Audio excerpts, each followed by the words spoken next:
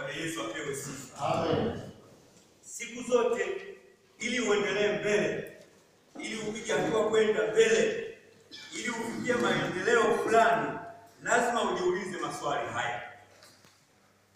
Maswali haya, nipo wapi?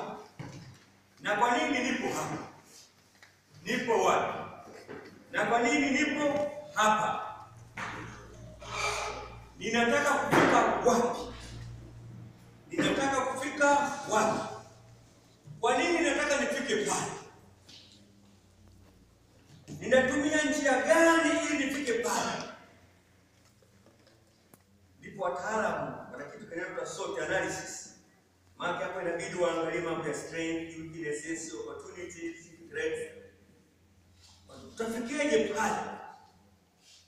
Kabla hujafika inabidi ufike kwanza. Ukishafika kule, yani kwa mawazo, kwa maono na kwa njozi, unafika